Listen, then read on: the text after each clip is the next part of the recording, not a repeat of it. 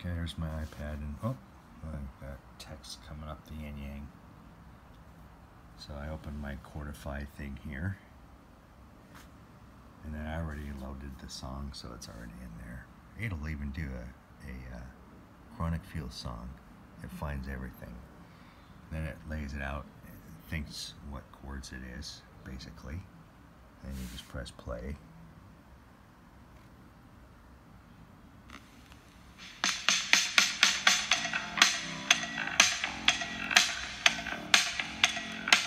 But the cool thing is, I go, well, the guitar comes in right here.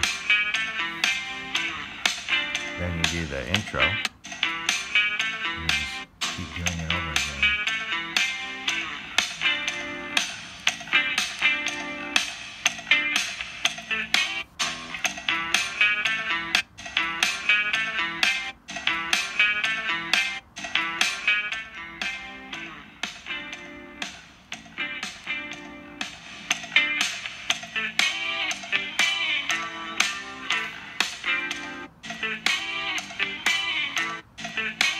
That's the tough one.